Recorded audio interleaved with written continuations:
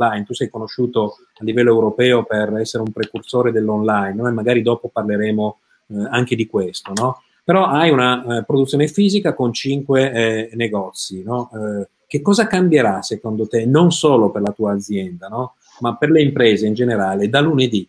Che cosa succederà? Eh, insomma, il problema è che di cose ne sono già successe veramente tante eh, in queste 7-8 settimane.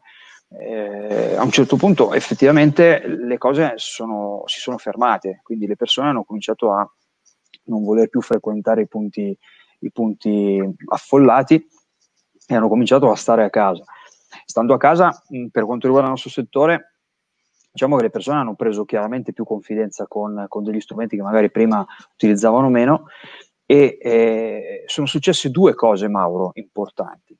Da un lato, le persone, questo è il lato mio, del mio settore, stando a casa si sono accorti che eh, probabilmente la loro casa eh, andava pensata in modo diverso, da, sotto, sotto tanti punti di vista, quindi hanno cominciato a utilizzarla, hanno cominciato a vedere che probabilmente alcune disposizioni non andavano bene o che alcuni suggerimenti ricevuti eh, non da professionisti non, non erano adeguati e hanno cominciato a mettere in discussione tante scelte importanti che una volta invece andavano bene perché, eh, perché non, non, si erano fatte determinate riflessioni.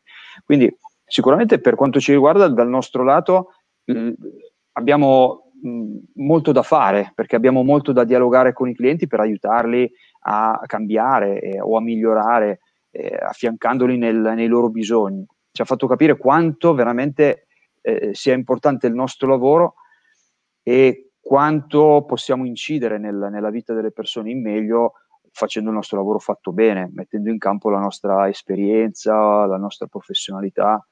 E, e questa è una cosa illuminante, veramente illuminante. Dall'altro lato, Invece per quanto riguarda il mio settore ho notato che eh, c'è stata un'accelerazione di quelli che erano i trend probabilmente già in atto e, e tornando al discorso degli anticorpi, eh, tanti nodi sono venuti al pettine, per cui tante, tante aziende che eh, non avevano investito, ma non solo nel digitale, ma comunque avevano eh, seguito la scia di mercati che eh, una volta andavano bene, poi quando andavano bene cambiavano e poi cambiavano ancora, cambiavano ancora. Quindi di fronte a eh, una strategia che era quella di probabilmente fare la cosa più facile, che era quella di produrre e eh, poi di mettere a disposizione del, del cliente più facile a disposizione il trend in atto che prevedeva la fine di questi, di questi, mercati uno dopo l'altro o di questi clienti che poi trovavano uno dopo l'altro, effettivamente eh, si è accelerata.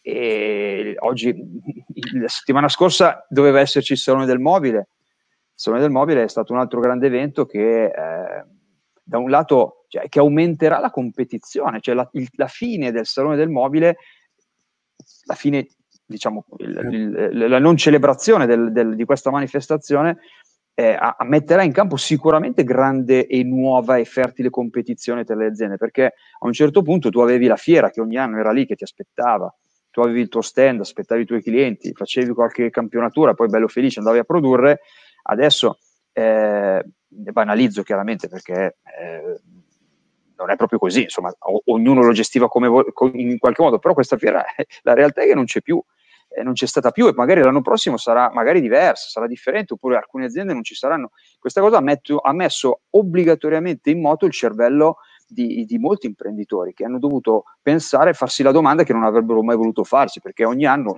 non era lì il più grande evento al mondo eh, del design con il Fuori Salone, che è il più grande evento pubblico legato al design nel mondo, insomma a un certo punto non c'è, non c'è più. Quindi che cosa facciamo?